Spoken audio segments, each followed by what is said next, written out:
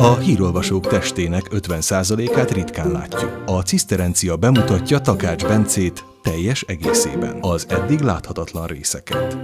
Gyere el és hallgass meg Takács Bencét március 9-én a Ciszterencián Pécsett. Részletek a ciszterencia.hu honlapon.